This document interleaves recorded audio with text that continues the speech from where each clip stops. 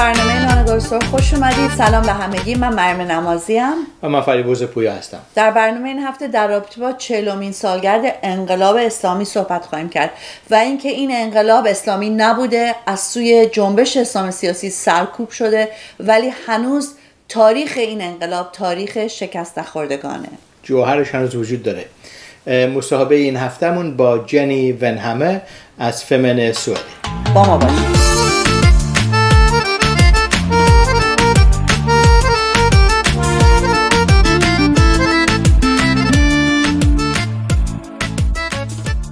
چلومین سالگرد انقلاب اسلامیه و خب چیزی که واقعا مشخصه این که این انقلابی که صورت گرفت در 57 انقلاب اسلامی نبوده. اگر انقلاب اسلامی بوده خواسته هاش بعد اسلامی می بود یعنی خواست شریعه بود. در دادگاه شریعه قوانین اسلامی هجاب جداسازی جنسی سنگسار قطع دست. اینا خواسته های جنبش اسلام سیاسیه. نه آزادی و برابری که مردم توی خیابون ریختن علیه دیکتاتوری شاه و برای خواسته های واقعا انسانی. اتفاقی که افتاد این انقلاب از سوی جنبش اسلام سیاسی سرکوب شد و برای تثبیت اتفاقا رژیم اسلامی یک نسل کشته شد توی ایران. پس لطفا به هیچ وجه نگیم که این یک انقلاب اسلامی بود. به هیچ وجه این انقلاب اسلامی نبوده و تا الان هم همون انقلاب نتیجه شما به وضوح می‌تونیم هنوز ببینیم. دو نسل جدید جامعه ایران. و شما اگه تاریخ جمهوری اسلامی رو نگاه بکنین هر لحظهش سرکوب انقلاب 57 ایران بوده. لحظه به لحظه شما اعتراض زنان رو توی تهران نگاه کنین.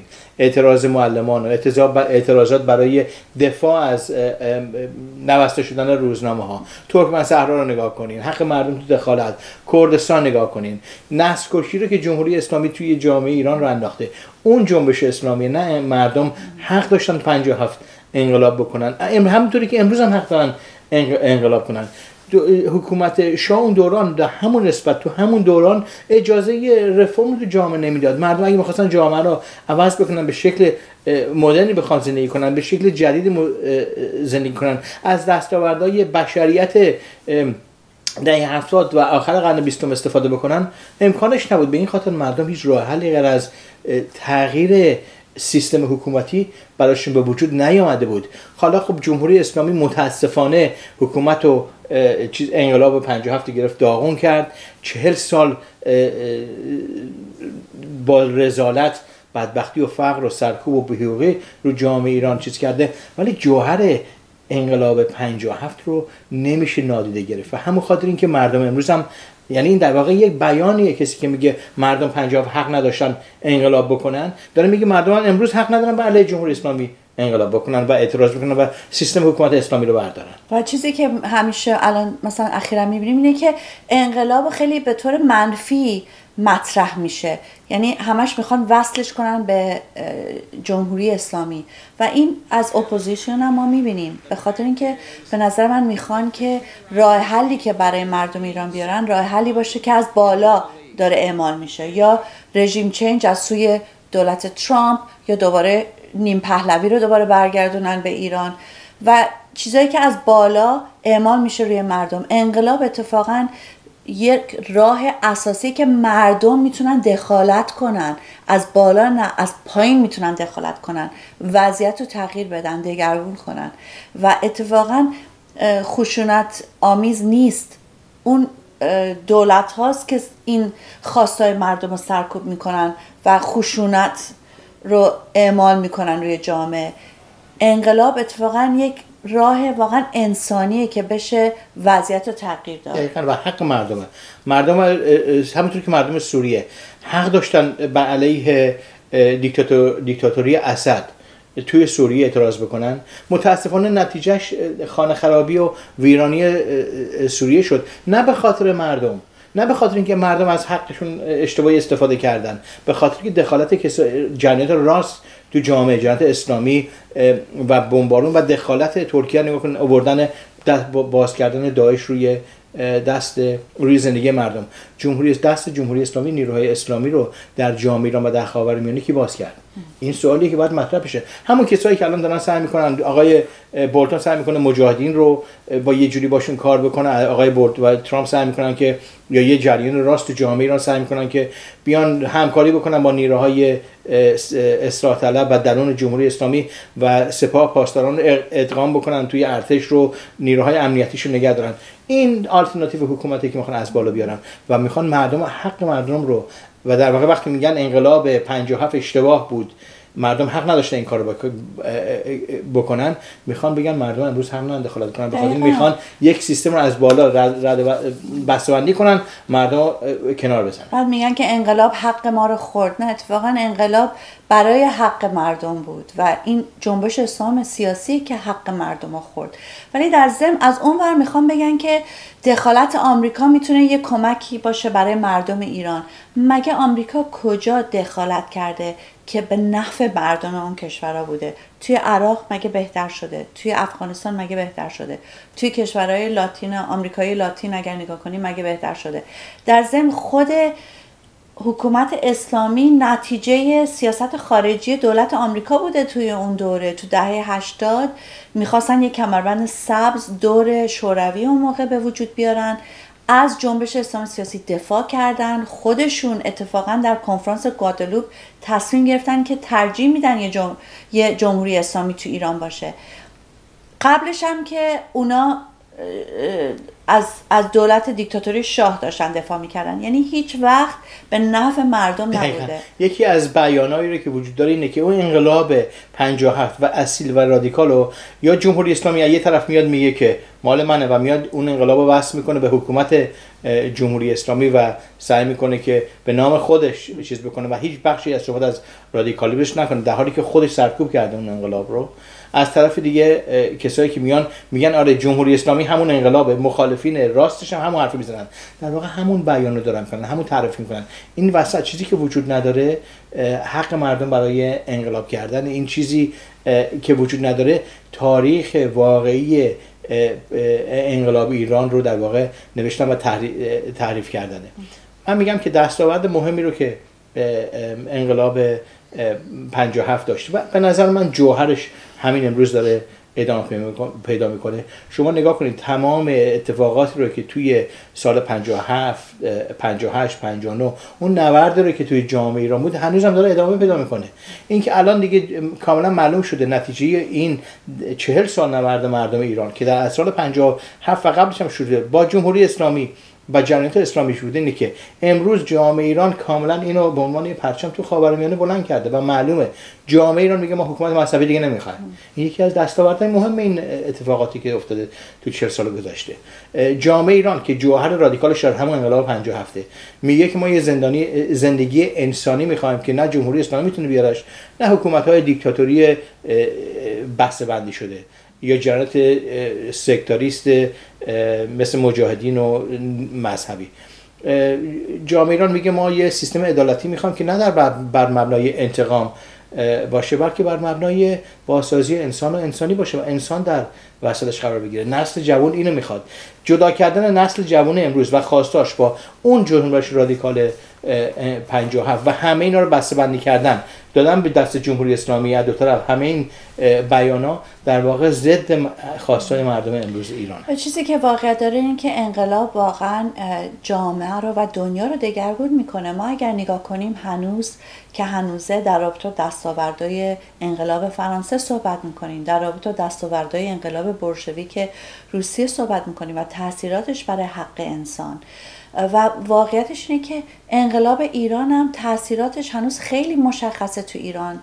اگر به جنبش های اعتراضی سیاسی اجتماعی تو ایران نگاه کنیم اینا همش از همونجا شروع شده. سیاسی بودنشون سکولار بودنشون مدرن بودنشون. این واقعا وقتی نگاه می‌کنیم به اعتراضات مردم ایران امروز می‌بینیم که این ادامه همون انقلاب 57 این تاریخ شکست نخوردگانه و این اون چیزیه که امید میاره برای تغییر واقعی توی جامعه ایران. نه جمهوری اسلامی نه ترامپ نه بولتن نه ظریف نه اصلاحاتی که اصلاحات نیستن در دنیای واقعی بلکه همون جنبش و مبارزه مردم برای دگرگون کردن جامعه به نفع انسان.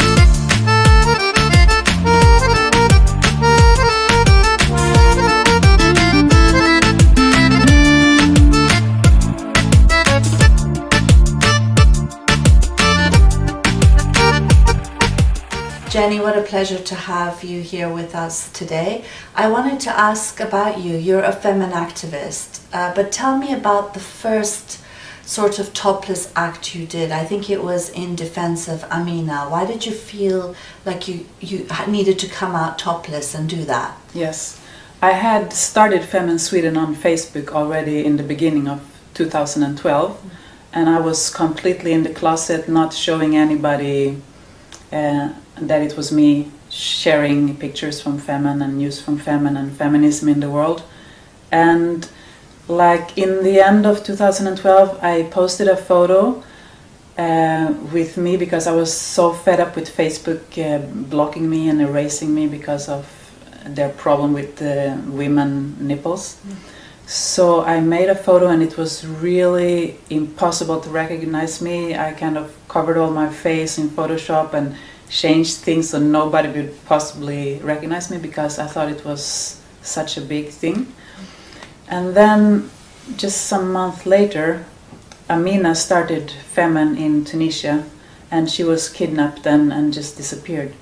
And I was so upset that the next morning when I woke up, I was like, it's, it's now. So I had my first photo made and it immediately became big, like 10,000 people just shared it immediately and magazines start contacting me. And then the thing with uh, Amina grew and you with other Iranians and Iranians in Sweden like Farid Arman and um, and more Iranians in Sweden and also from some other countries from the Middle East uh, together with Femen uh, and you were speaking with Inna Shevchenko started the topless jihad. Mm. So my first time ever topless publicly in a like a public place because I grew up in a time when in Sweden it was very normal to be topless on the beach. It's not so much today, but when I grew up it was it was like almost embarrassing to not be topless at some point. Um, but like this in a public space inside the city, it was definitely the first time, and it was the first time for Farida too. And um, and this was uh, 4th of April 2013 that we started the Topless Jihad campaign and people were sending photos from all over Europe and the world in support doing the same.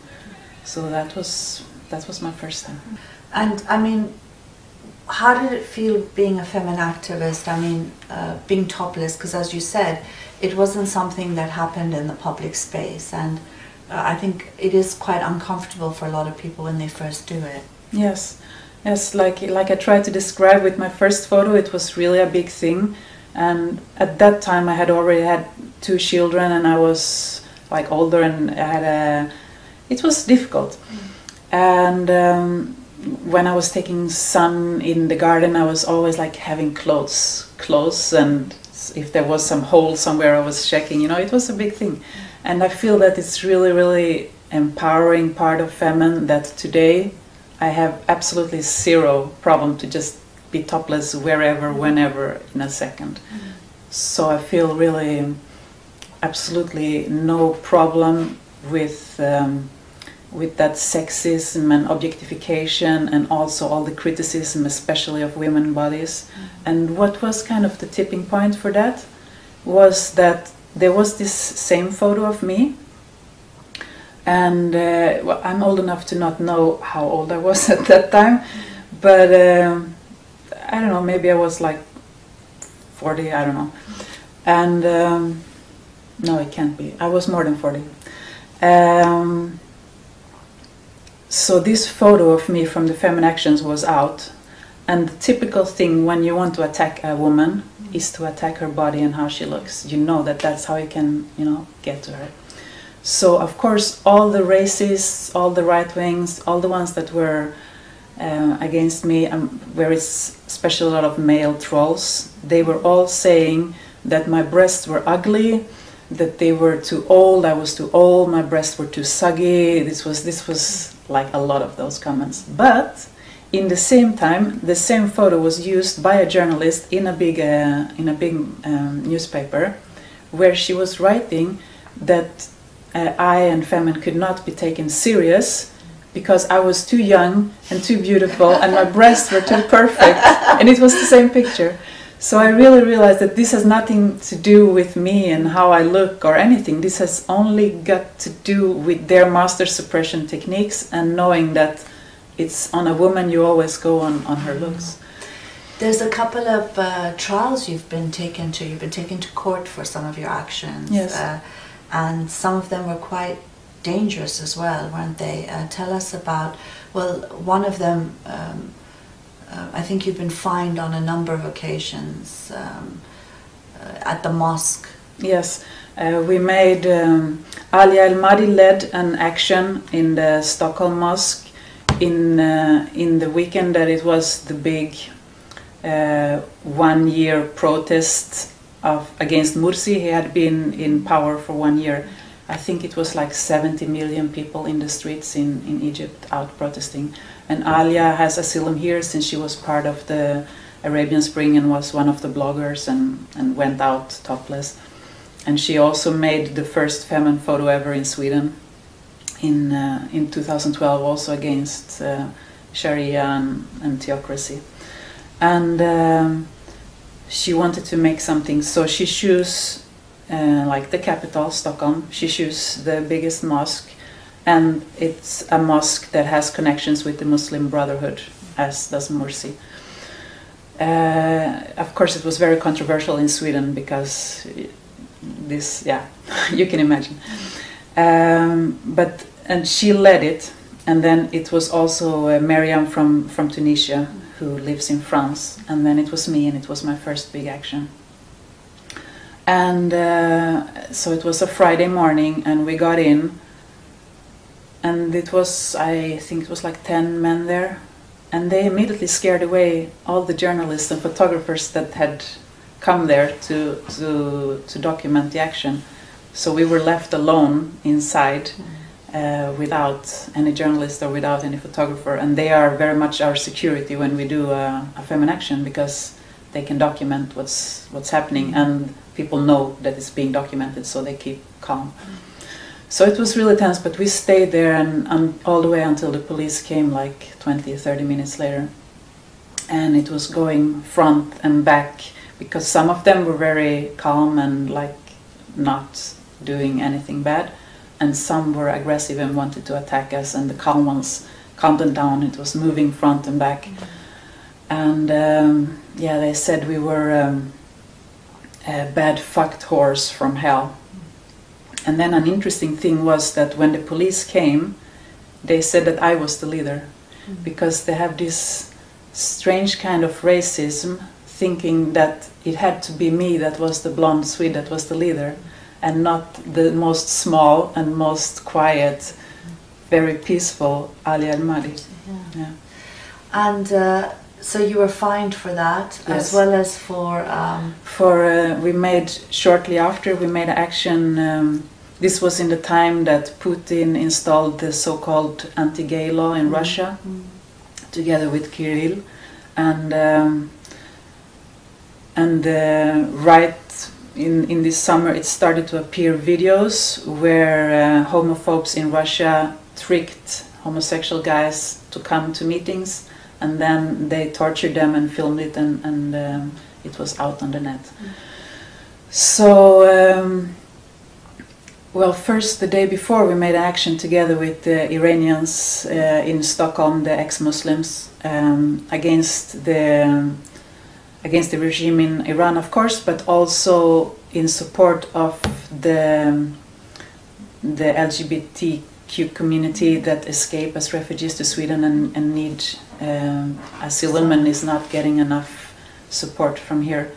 So, so that was the first, and yeah, I just want to say like it's been all the way since my first action in Sweden always been the Iranians who who's been supporting us the most and really understood what we're doing and what is the danger and why are we doing this. So first we made this demonstration with them topless in Stockholm during Pride and then the next day me and Alia climbed this three meter fence and got in the Russian embassy and I was afraid before because uh, I know that when you get when I got in when we got in we were not on Swedish territory anymore. So it was Russian laws, and I was also told like this is the embassy in Sweden that has more weapon than any other embassy, and I was, I mean, I was thinking that this can be my last day. They can shoot me if they want. So uh, nothing happened, but it was scary. I left my daughter in in the in the morning and like said goodbye, and I was afraid.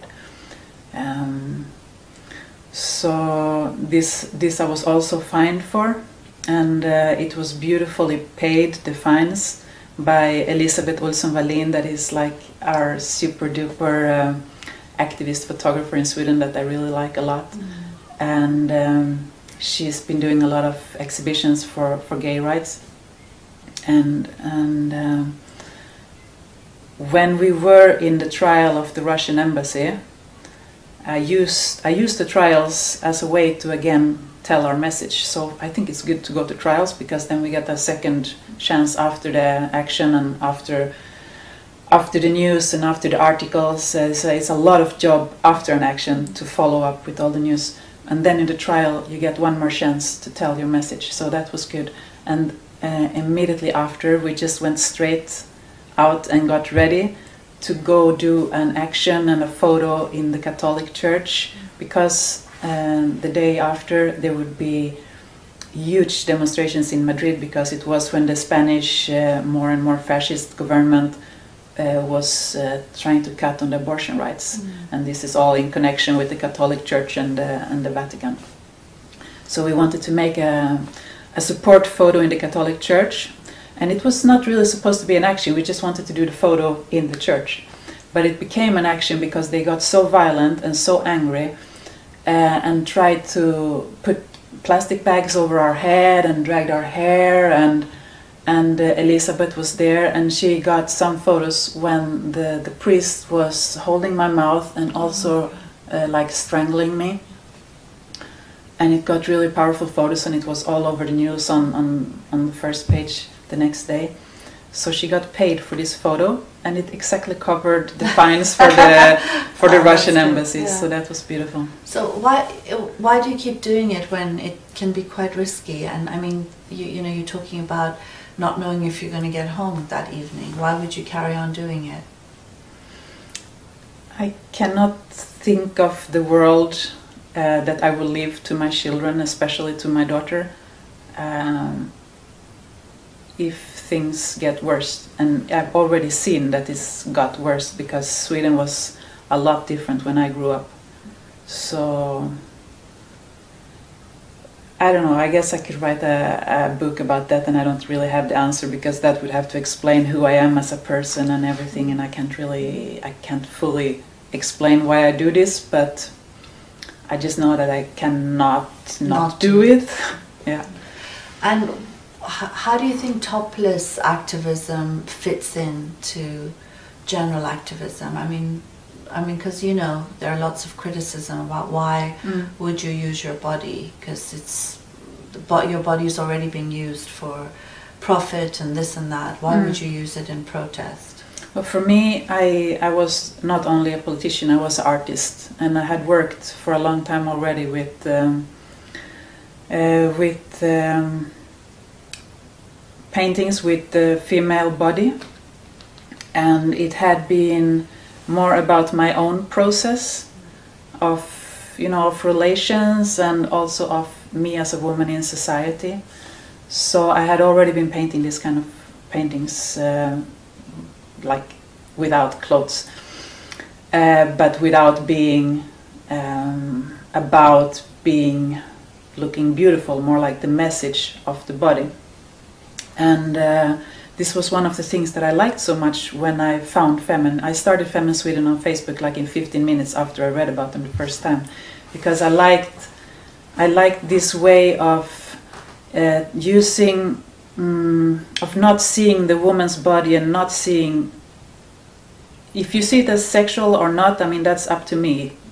Uh, if if i'm feeling sexual or not it, i don't really care if you think i'm sexy or not. It's not relevant to me but if i feel sexy even that way i still have the right to to be sexy without anybody raping me or thinking that uh, that they have any right to to abuse me so this was, of course, something that I liked when I saw Femen using it as an empowerment tool instead of something that we should hide and and adopt. Because I think it's very sexist when when somebody say, um, "Why are you showing your breasts?" I'm like, "Why are you saying that I'm showing my breasts? I'm not showing my breasts. I'm just not covering myself."